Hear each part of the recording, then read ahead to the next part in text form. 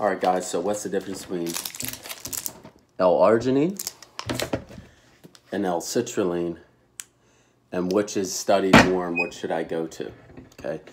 Well, that really depends on your goal, right? So um, if it's just like working out and stuff like that, I think uh, L-citrulline or citrulline malate is a good choice.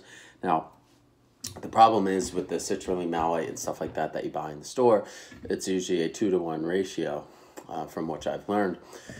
So if you got three grams of citrulline, okay, uh, you, you know you usually want to get about six grams if you can. You know that's the goal, right, of pure L-citrulline.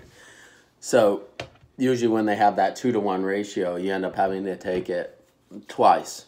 So you have to take two two scoops of it you know, for it to be effective. But citrulline malate can be expensive. All this is, is it's L-citrulline mixed with malic acid. So you take malic acid, uh, which comes from apples and, you know, kind of acidic fruits, and you mix it together. And what they found in the studies is that it's overall better for athletes. Um, you know, longer endurance, um, you know, better workouts. And L-citrulline, what it does is it increases nitric oxide levels in the body.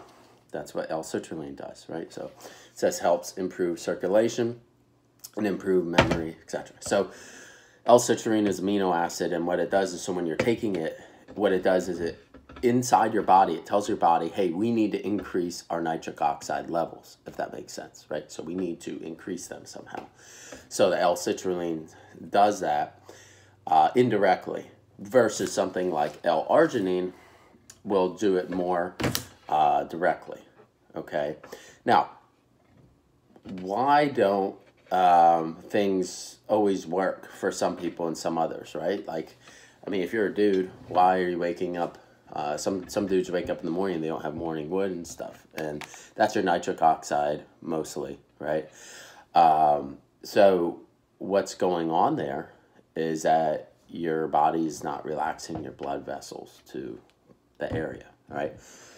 So, in order for all that to work, you have to kind of be in a, a, relaxed state as well. So, the first thing, what I'd always recommend working out before kind of, I mean, it just depends on your goal. If you have trouble down there, your goal should first go kind of look at your, um, your thyroid and look at your adrenal glands. Get that stuff sorted out. Make sure your TSH is between like a 1 and a 2 um, or maybe even below that. If it's higher than that, you probably got subclinical hypothyroidism, which means the thyroid is underactive at some point. Hypo means under, hyper means above. So you probably want to start there first, okay? And then you want to dive into your adrenals and, and things like that, right? But let's just say you want like, I don't know, a, a pump at the gym. Good pump at the gym, simple two scoops of L-citrulline, which give you six grams, and one or two scoops of L-arginine, you'll definitely be pumped up. Why? Because you're combining, right? So you're indirectly raising your levels. So you're telling your body, hey, I want you to uh, produce more L-arginine in the body, not just take it through the gut, because sometimes things don't get absorbed through the gut. So if you take L-citrulline, two scoops, and then one scoop of L-arginine, you're going to indirectly and directly help your body to increase your nitric oxide levels. Now, um, this is even great for people, you know, older people or anyone who needs to just increase your blood circulation um, because there's inside your blood vessels, you have a lot of times people have plaque and stuff. So you're not getting that same pump or that's, you know, when maybe you were younger, you were like, man, I get this great pump all the time. And now all of a sudden you don't get that pump anymore.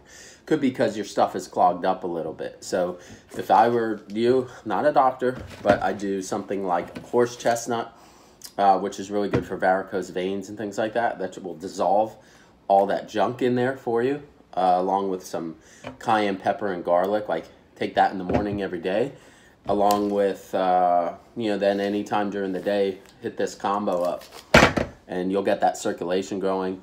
You'll get that blood pressure brown, uh, down, etc. So the reason that people have high blood pressure a lot of times is because things are clogged up, right? So it's like you're trying to put put water through a tube, but somebody's squeezing the tube. So what happens is it, there's more internal uh, and systolic pressure throughout the body, right? So, anyways, um, how do how so? What are some really good things for the circulation? Like I said, cayenne pepper, garlic, L-citrulline, L-arginine, and then now some people have gene mutations. Now this is a whole nother bag of stuff, right? Um, so if you have any gene mutations, I would recommend taking it uh, through methylfolate. There's been a lot of studies done. If you look at PubMed, it's the only place I look. I don't look at like Bro Science. But if you look at PubMed, there's a lot of studies done on methylfolate, how it can uh, increase uh, the, I guess you could say, expansion of your uh, your veins and really open everything up and get that flow going, and then also increase your uh, L-arginine levels and increase your nitric oxide levels, which also can help downstairs. So if A, you want to pump, again, this is a great combo. Um, if you're not waking up with that morning wood, then you want to focus on fixing up that thyroid, the adrenals, get your dopamine levels up. Dopamine levels are huge and responsible for all that. So um, things like L-dopa, L-tyrosine, things like that can really help all that uh, down there. So that in combo with these things, you'll be well on your way. Um, and a lot of times you don't need TRT. A lot of people are like, oh, I need testosterone replacement therapy. I need all this. And the truth of the matter is, you really just have to fix the subsystems and then everything else will kind of fix itself, right? So adrenals and thyroid, check those out, number one. If you have questions, let me know. I can kind of guide you in the right path. I'm not a doctor, but I work very closely with some people who even teach doctors what to do. So um, if you want some help with stuff like that, more than happy to help you. Um, but yeah, I mean, that's how you can increase your uh, circulation, get a better pump, etc. Promote more healing because the more blood you have in your body, the more healing you're going to do and also the more energy you're going to have. Like right now, I'm just, I took B vitamins, uh, my thyroid glandular in the morning, and cayenne and some garlic, and you can see I'm plenty of energy. No energy drink or anything.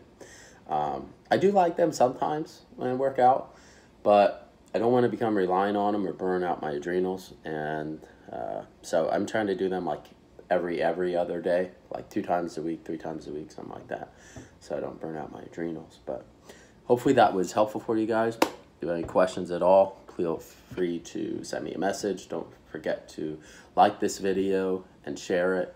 And if you want to follow me, either hit the subscribe button or follow me. Anyways, I hope you guys have a great Friday. Thanks for tuning in. Take care.